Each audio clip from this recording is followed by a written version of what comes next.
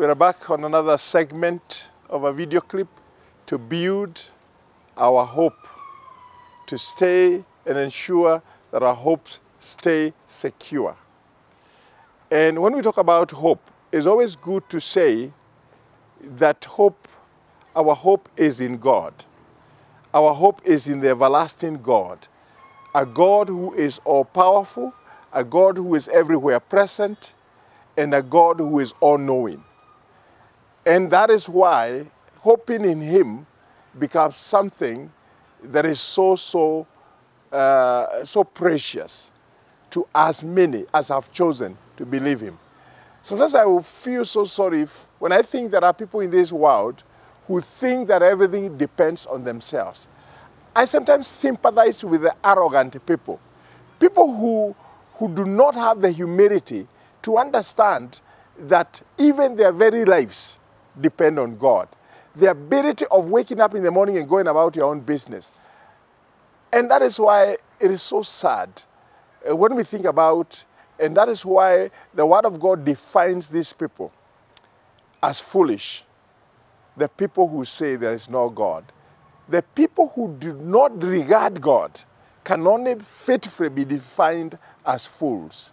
Because indeed, if you look yourself in the mirror, or if you see the things around you, you, you must know there is a power greater than you are.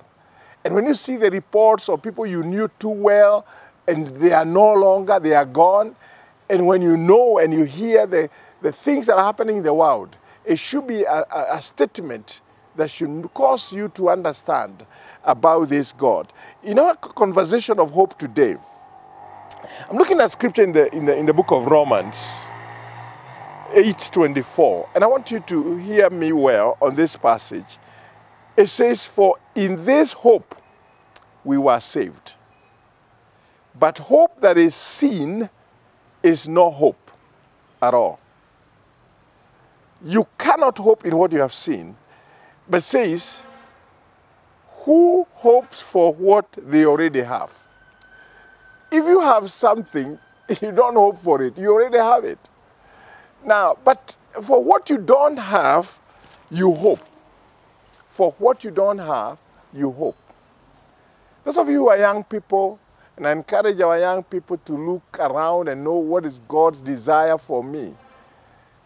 If you are a young person and you're trusting God for marriage, you, you need to keep your hope alive that God will connect you to a life partner that will walk with you and support you, and you'll be able to advance uh, God's agenda for your life.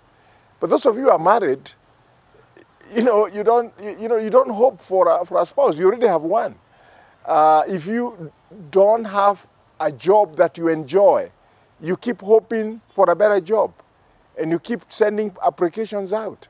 And you need to keep that hope alive. You need to go out there, look for a job, and hope that you're going to get it.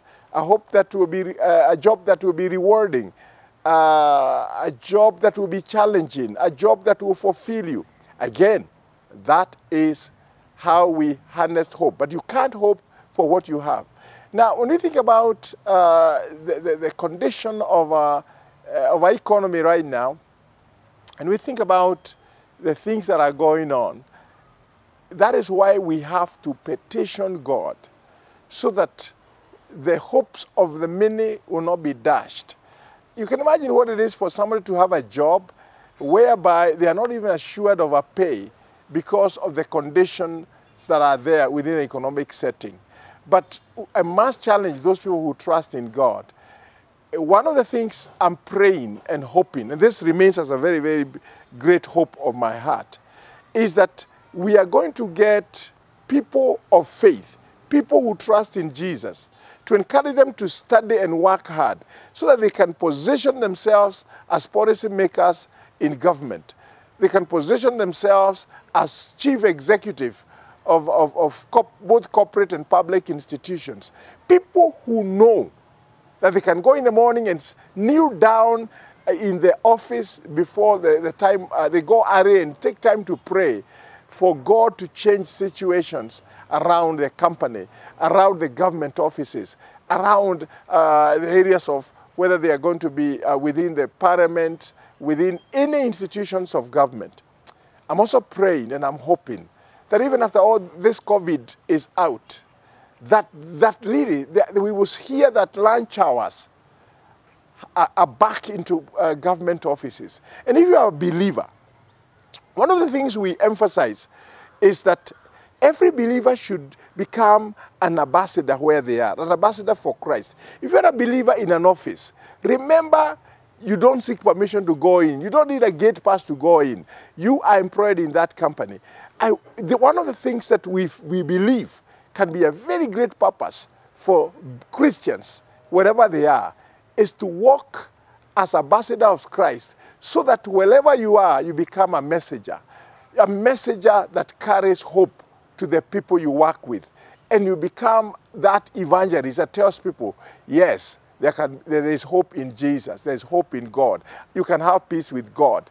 And uh, that is a very, very great agenda. Even as we talk many times about the avenues of uh, changing our culture through the, through the seven mountains that influence civilization, I believe that every person, particularly those in the media sector, those in the education sector, those that are in, uh, in the technology sector, there is a role as a believer.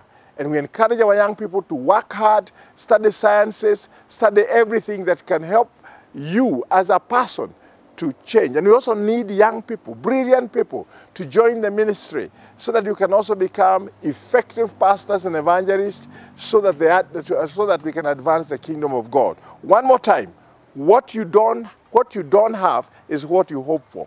What you already have, you, you don't need to hope for because you have it. Let we continue to pray and to trust God.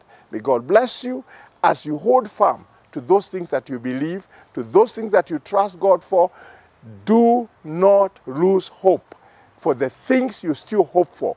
And, I, and, and go out each day with a hope that what you are trusting God for will be fulfilled. Lord, we thank you again for the encouragement we have shared today. May you continue, Lord God, to show grace and mercy to as many as have chosen a path of choosing to trust you, that their hope will stay alive in Jesus' name. Amen.